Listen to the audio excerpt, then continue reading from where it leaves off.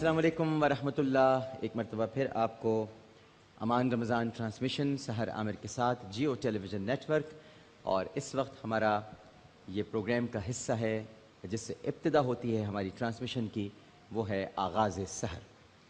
ہمیشہ کی طرح الحمدللہ اس مرتبہ بھی ہمارے ساتھ تشریف فرما ہے قاری محمد ابراہیم کاسی صاحب۔ السلام علیکم قاری صاحب۔ مزاج گرامی۔ الحمد بسم اللہ۔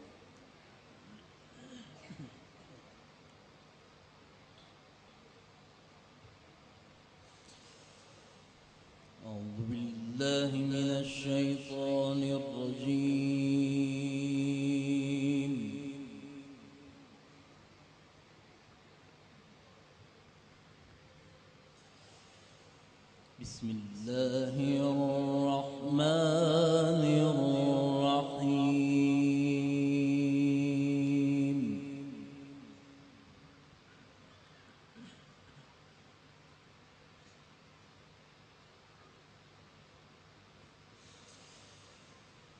ولا تستوي الحسنة ولا السيئة ادفع بالتي هي أحسن.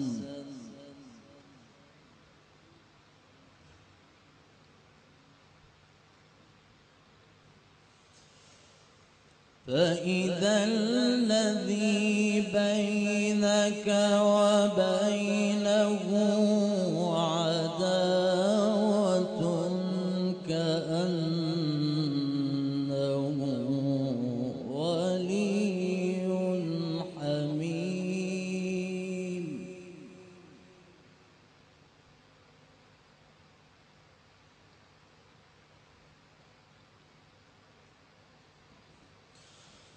وما يلقاها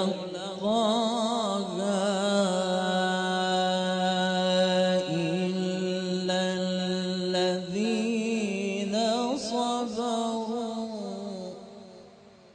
سبحان اللہ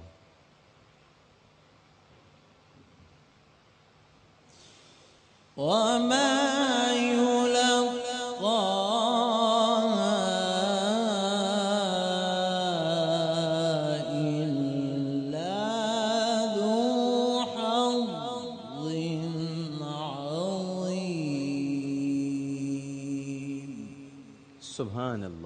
سبحان اللہ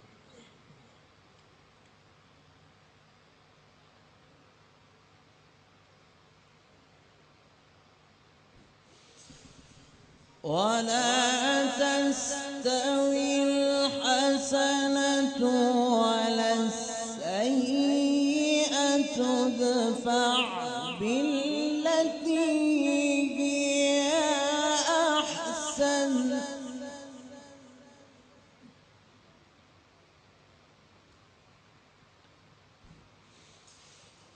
فإذا الذي بينك وبينه عداوة كأنه ولي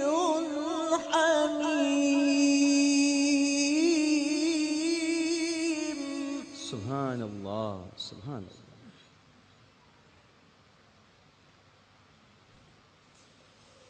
وما يلقاها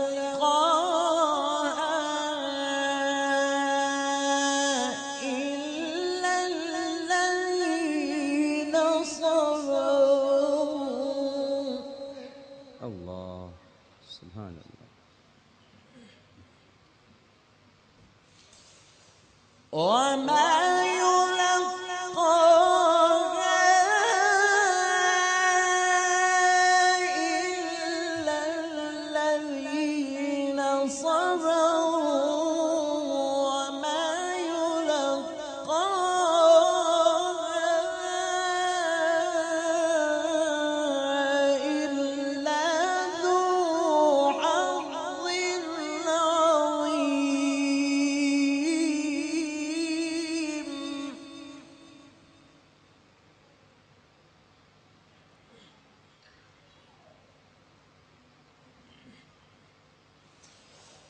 وإما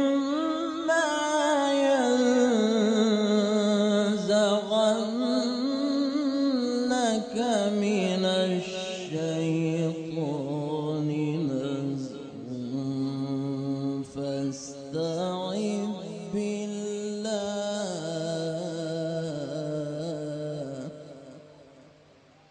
سبحان اللہ سبحان اللہ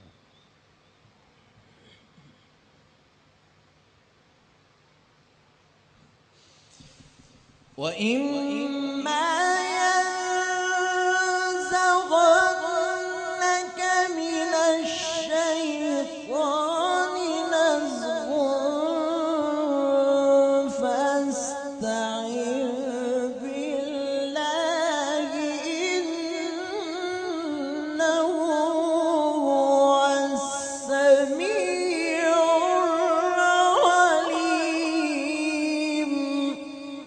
سبحان اللہ سبحان اللہ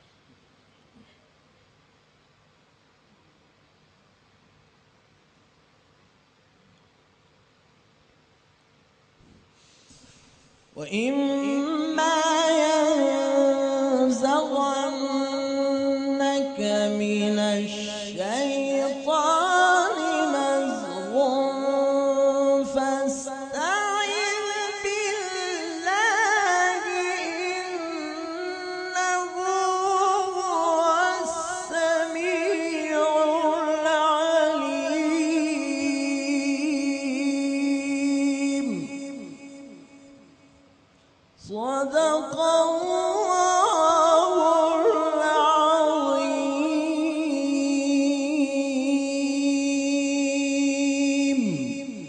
سبحان اللہ ماشاء اللہ جزاک اللہ تبارک اللہ۔ آج آپ نے کچھ مختلف انداز میں پڑھا ہے۔ دو تین مقامات میں نے آپ بتائیں نا مقامہ میری طرف مت دیکھیں آپ بتائیے میں ذرا ہاں، رہنمائی میں نے ڈاکٹر صاحب ابتدا کی تھی مقام بیات میں جو کہ رول ہیں کہ مقام بیات ہی سے شروع کرتے ہیں۔ پھر اس کے بعد بیات کے جو مزید سٹیپس ہیں میں نے پڑھے ہیں۔ پھر آخر میں مقام نہاون پہ میں آیا ہوں۔ اچھا۔ ختم بھی پھر اسی میں کیا کیونکہ ٹائم کی مجبوری کی وجہ سے۔ ہاں کیونکہ آپ کا صدق اللہ العظیم آج تھوڑا مختلف تھا۔ ہاں بس وہ اسی میں اسی مقام میں ہی میں نے پڑھا ہے۔ اچھا ماشاء اللہ سورہ حامیم سجدہ اور آیات چونتیس تا چھتیس۔ اور نیکی اور بدی برابر نہیں ہو سکتے اور برائی کو بہتر طریقے سے دور کیا کرو۔ سو نتیجتاً وہ شخص کے تمہارے اور جس کے درمیان دشمنی تھی، گویا وہ گرم جوش دوست ہو جائے گا۔ اور یہ خوبی صرف انہی لوگوں کو عطا کی جاتی ہے جو صبر کرتے ہیں، اور یہ توفیق صرف اسی کو حاصل ہوتی ہے جو بڑے نصیب والا ہوتا ہے۔ اور اے بندہ مومن، اگر شیطان کی وسوسہ اندازی سے تمہیں کوئی وسوسہ آ جائے، تو اللہ کی پناہ مانگ لیا کرو۔ بے شک وہ خوب سننے والا خوب جاننے والا ہے۔ ان آیات میں اللہ سبحانہ و تعالی نے خصوصیت کے ساتھ برائی کا اچھائی سے بدلہ دینے کا حکم فرمایا ہے۔ اور اس کا نتیجہ ارشاد فرمایا ہے کہ تم اپنے اچھے رویے سے اپنے ایک جانی دشمن کو اپنا جگری یار اور دوست بنا سکتے ہو۔ اور فرمایا کہ یہ خوبی تو صرف اپنے نفس پر قابو رکھنے والوں کو ہی حاصل ہوتی ہے۔ ظاہر ہے کہ اس کے لیے تو نفس پر ہی قابو رکھنا ہوگا۔ کیونکہ عام طور پر دیکھا یہ گیا ہے کہ انسان بہت جلد باز جذباتی، بے صبرا اور عاقبت نا اندیش واقع ہوا ہے۔ وہ غصے میں بھی فوراً آ جاتا ہے اور جذبات سے مغلوب ہو کر فیصلے بھی کر جاتا ہے۔ اور کسی بھی معاملے میں بغیر سوچے سمجھے فوری رد عمل کا وہ اظہار کرتا ہے۔ آج کل ہمارے گھروں میں، خاندانوں میں، ملنے جلنے والوں میں دن رات یہ مسائل پیش آتے ہیں کہ بھائی فلاں نے میرے ساتھ یہ کر دیا، فلاں نے میرے ساتھ وہ کر دیا۔ اب میں اس کے ساتھ ایسا کروں گا، اب میں اس کے ساتھ ویسا کروں گا۔ اور ہم صرف بدلہ لینے کی سوچتے رہتے ہیں۔ یعنی ہمارے دماغ میں بدلے کے علاوہ کچھ اور نہیں ہوتا، دوسروں سے شکایتیں کرتے پھرتے ہیں، تانے دیتے رہتے ہیں، اس کی برائی اور غیبت میں لگ جاتے ہیں۔ اور اب تو فیس بک پر ہم غیبت کرتے ہیں، الیکٹرانک غیبت ہو گئی ہے اب۔ اور حالانکہ یہ سب گناہ کے کام ہیں۔ لیکن اگر ہم معاف کر دیں اور درگزر کر دیں تو ہم بڑی فضیلت اور ثواب کے مستحق بن سکتے ہیں۔ صحیح مسلم میں روایت ہے کہ نبی کریم صلی اللہ علیہ وآلہ وسلم کے پاس ایک شخص آیا اور عرض کی کہ یا رسول اللہ، میرے کچھ رشتہ دار ہیں۔ میں ان سے ملتا جلتا ہوں لیکن وہ مجھ سے نہیں ملتے۔ میں حسن سلوک کرتا ہوں اور وہ برا سلوک کرتے ہیں۔ میں بردباری کرتا ہوں اور وہ جہالت کرتے ہیں۔ آپ نے فرمایا کہ اگر تم واقعی سچ کہہ رہے ہو تو تم ان کے چہرے پر یا ان کے چہروں پر مٹی ڈالتے رہو۔ تم اسی طرح رہو۔ اللہ تعالیٰ تمہارے ساتھ تمہارا مددگار رہے گا۔ صحیح بخاری میں روایت موجود ہے یعنی اس کا مطلب یہ ہوا ناظرین کہ آپ نے ویسا ہی سلوک کرنا ہے۔ جو وہ آپ کے ساتھ کر رہے ہیں، آپ ویسا سلوک نہ کریں، بلکہ وہی سلوک کریں جس سلوک کا حکم اللہ اور اس کے رسول صلی اللہ علیہ وآلہ وسلم نے ہم کو دیا ہے۔